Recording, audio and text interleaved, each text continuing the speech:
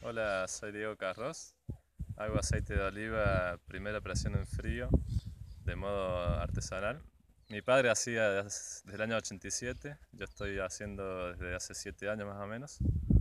Como rubro secundario tengo las aceitunas en salmuera eh, y les trabajamos con semilla viva.